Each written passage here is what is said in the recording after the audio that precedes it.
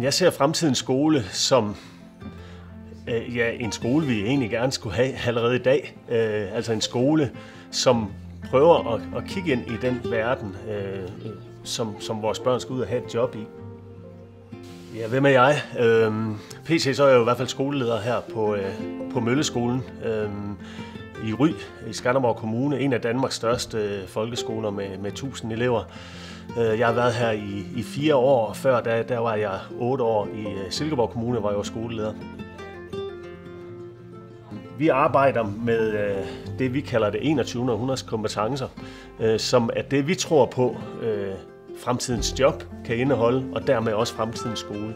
Og det handler om at være ja, kritisk tænkende, men også at være kreativ og være innovativ og kunne mestre de her teknologier, som jo ændrer sig hele tiden igen i lokalet, vi sidder her i vores Fab Lab, der er der også rigtig meget leg i at 3D-printe øh, skære noget i, i noget krydsfiner i vores øh, lasercutter.